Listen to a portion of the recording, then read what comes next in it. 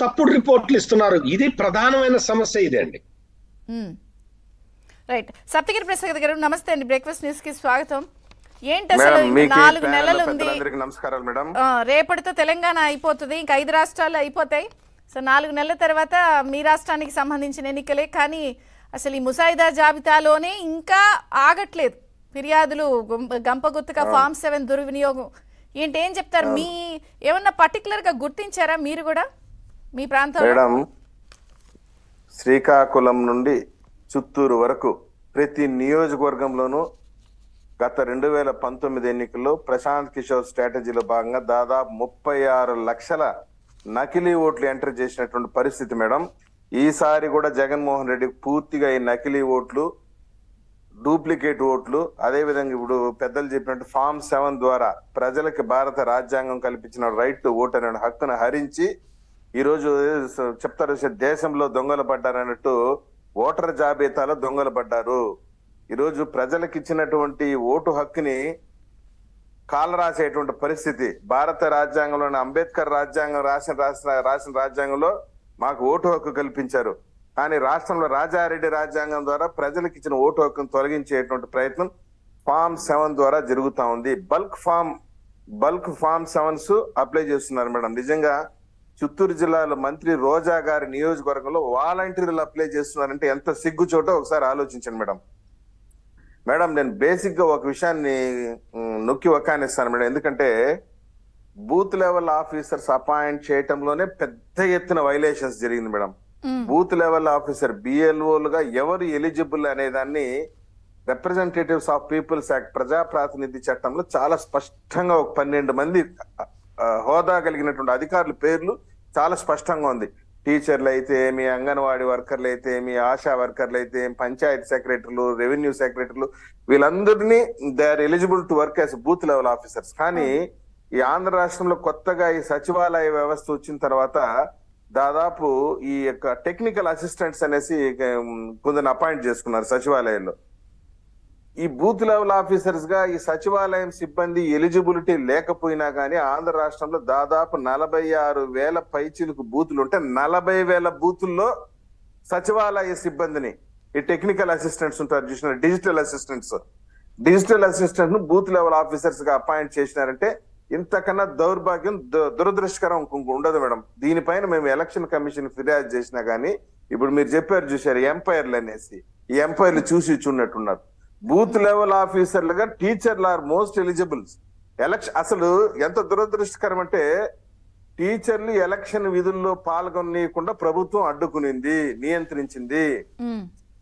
నేను అడిగేది ఏంటంటే కరోనా టైంలో బ్రాండీ షాపుల కార్డు డ్యూటీలు నియంత్రించలేదు అవసరమైతే వాడతామని జీవో తెచ్చి కింద చుక్కలేశారు స్టాటరీ వార్నింగ్ లాగా. అదే మేడం మేడం ఇప్పుడు ఒక ఇంతకు ముందు ఉన్నిందా ఈ జీవో? అవసరమైతే వాడతామని టీచర్లు పుష్కలంగా అందుబాటులో ఉన్నారు. వాళ్ళ సర్వీసెస్ యూటిలైజ్ చేయాలా? ఈ సచివాలయ సిబ్బందిని ఈ వీళ్ళు తీసుకొచ్చి బూత్ లెవెల్ ఆఫీసర్ గాను ఎలక్షన్ ఆఫీసర్స్ గారు వాడుకోమని చెప్పి ఎక్కడ ఉందో జీవో? నేను సూటిగా అడుగుతున్నాను. డిజిటల్ అసిస్టెంట్స్ వాళ్ళకి ఏం తెలుసు? వాళ్ళు నిన్నగాక మొన్న వచ్చారు సచివాలయ వ్యవస్థలోకి. నిన్నగాక మొన్న అంటే మూడేళ్ళు నాలుగేళ్ళ క్రితం వాళ్ళ సచివాలయ వ్యవస్థలోకి వచ్చారు. ఎలక్షన్ డ్యూటీస్ కూడా వాళ్ళకి సరిగా తెలుసు. తెలీదు. రిప్రజెంటేటివ్స్ ఆఫ్ పీపుల్స్ యాక్ట్ గురించి వాళ్ళ పైన అవగాహన లేదు. కానీ ఎంఏలు పిహెచ్డి చేసినటువంటి ఉపాధ్యాయుల్ని ఎలక్షన్ విధులకు దూరంగా పెట్టేసి ఎలక్షన్ ఆఫీసర్స్గా ఉండనీయకుండా చేసేసి నేను అడిగేది మేడం నేను- అడుగుతున్నా మేడం. కాదు ఓ లిమిటెడ్ టైం ఉంది ఇప్పుడు. జనవరి ఐదున ఫైనల్గా వచ్చేస్తుంది జాబితా. ఓ పక్కన మీ పార్టీ నాయకులు కొల్లు రవీంద్ర గారు హైకోర్టును ఆశ్రయించారు. వాలంటీర్ల అంశం విషయంలో ఈ రోజు మీరు ఈసీని కలుస్తున్నారు. ఫిర్యాదుల విషయంలో ఇప్పుడు నేను కొన్ని ప్లేసెస్ చెప్పాను. గన- బనగానపల్లి నంద్యాల ఈ ప్లేసెస్లో మీరు కంప్లైంట్లు ఇచ్చిన ఈఆర్ఓలు కంప్లైంట్ ఇచ్చిన ఆరు రోజుల తర్వాత పెడుతున్నారు ఎఫ్ఐఆర్ కడుతున్నారు. లేట్ ప్రాసెస్ అక్కడ. అవుతుంది. కట్టట్లేదు అన్నట్లు. కడుతున్నారు. రెండు. కొన్ని చోట్ల ఎఫ్ఐఆర్ నమోదు చేయకుండా నాన్ కాగ్నిజబుల్ కింద చేస్తున్నారు. మరి ఏంటి? దీన్ని ఎలా చూస్తారు? మేడం మేడం ఇప్పుడు ఒక విషయం. మేము కోర్టుకు పోతాం. ఈ యొక్క మీరు చెప్పినట్టు ఎంపైర్ల పైన ఈ జిల్లా కలెక్టర్ పైన వీళ్ళు ఐఏఎస్లు కాదు ఐఆర్ఎస్లు వీళ్ళు. వీళ్ళు పూర్తిగా ప్రభుత్వం యొక్క ట్రాక్లు ఇరుక్కోపోయారు వాళ్ళు. ఇరుక్కొని పోయేసి ఇప్పుడు బయట రాలేని పరిస్థితి విలువల్లాడుతున్నారు. రేపు పొద్దున మేము హైకోర్టుకు పోయినా సుప్రీం కోర్టుకు పోయినా మమ్మల్ని అడిగి ఫస్ట్ ప్రశ్న మీరు ఎలక్షన్ కమిషన్ ఫిర్యాదు చేశారని అడుగుతుంది.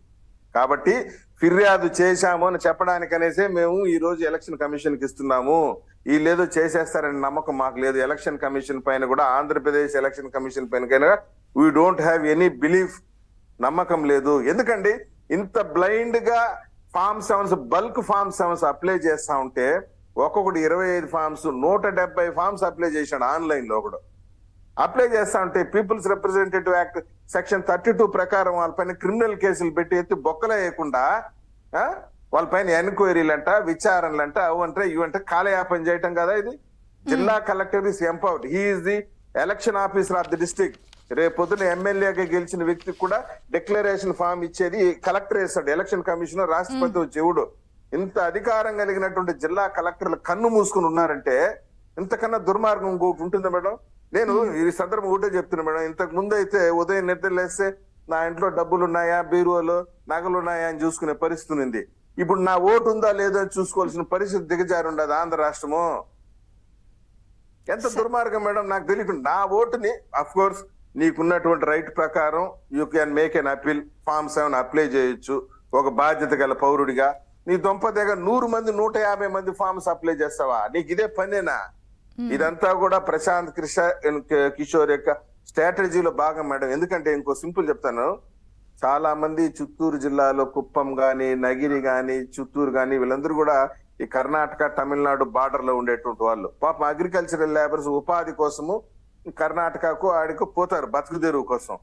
వా- ఎవరైతే టీడీపీ సింపథైజర్స్ ఉన్నారో కుప్పంలో వాళ్ళ పేర్ల పైన ఫామ్ సెవెన్స్ అప్లై చేసి వాళ్ళ ఓటును కావాల్సుకొని డెలీట్ చేస్తారనమాట ఎందుకంటే వీడు ఇక్కడ ఉండటం లేదు మేడం. వాడు అక్కడెక్కడ ఉంటున్నాడు. బెంగళూరులో ఉంటున్నాడు చెన్నైలో ఉంటున్నాడు. వీడు ఓటు రిమూవ్ చేసి అని చెప్పి వైసీపీకి చెందినటువంటి వాలంటీర్స్ వాళ్ళకి తెలుసు వీడు ఏ పార్టీ సింపథైజర్ వీడు ఎవరికి ఓటేస్తాడు వీడి ఇంటి పని ఏ జెండా ఎగరేస్తా ఉంది అని తెలుసు. వాళ్ళు తెలిసిన తర్వాత వాళ్ళు ఫామ్ సెవెన్స్ అప్లై చేస్తారు. ఫామ్ సెవెన్ అప్లై చేసినా కానీ ఎవరైతే ఉన్నారో అతనికి మీరందరూ కూడా. జరిగిన ప్రొసీజర్ని చెప్తున్నారు. ఇది జరిగిపోయింది. జరిగిపోయి ఇట్లా వచ్చేసింది జాబితా. నేను ఒకటే చెప్తున్నా మేడం. జరగాల్సింది Yes, మీ చెప్పాలి క్వశ్చన్ మీరు. నాకు అర్థమైంది. నేను చెప్తున్నా మేడం. నేను నేను ఒకటే చెప్తున్నాను. ఈ చర్చ ద్వారా ఏబిఎన్ చర్చ ద్వారా బాధ్యత గల అధికారులు మీరు తప్పు చేస్తే రేపు పొద్దున జగన్మోహన్ రెడ్డి ఓడిపోతే పాస్పోర్ట్ తీసుకుని వీసా తీసుకుని విదేశాలకు వెళ్ళిపోతాడు. మీరు మాత్రం ఇక్కడే ఉంటారు. మీరు రేపు పొద్దున ప్రజా కోర్టులో శిక్ష అనుభవించక తప్పదు. డెమోక్రటిక్గా మీరు ఇబ్బంది పడతారు. రేపు పొద్దున మేము ఎలక్షన్ కమిషన్ చేస్తున్న నమ్మకం లేదు.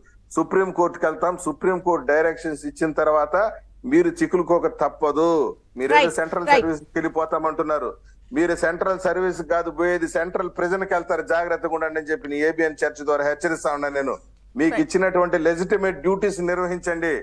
మీకు జీతాలు ఇస్తుంది పబ్లిక్ ఎక్స్చెక్కర్ నుండి డబ్బులు ఇస్తున్నారు. జగన్మోహన్ రెడ్డి ఖాతా నుండి కాదు. Your answerable and accountable to public ప్రజలకు మీరు బాధ్యతగా ఉండండి. అదే ఇంత దుర్మార్గంగా పోలీసులు ఫామ్ సాములు అప్లై చేయించడం మీద దొంగోట్లు నమోదు చేయించడం మీద నాకు అర్థం కాదు. వాలంటీర్లు చేయించడం ఏంది? ఇంత పెద్ద బ్లండర్లు జరుగుతా ఉన్నా జిల్లా కలెక్టర్ గుడ్లు అప్పగించి చూస్తున్నారు. మీరు ఒక- బ్రేక్ తీసుకుందాం. జనసేనతో కూడా మాట్లాడి నేను మీ దగ్గరికి వస్తాను. అలాగే కొన్ని జిల్లాల్లో ఎలాంటి పరిస్థితులు నెలకొన్నాయి కూడా ఏబిఎన్ టీమ్ కొన్ని వివరాలు అందించడానికి కూడా బ్రేక్ తర్వాత సిద్ధంగా ఉంది. చిన్న విరామం విరామం తర్వాత కొనసాగుతున్న చర్చ చూస్తున్నానండి ఏబిఎన్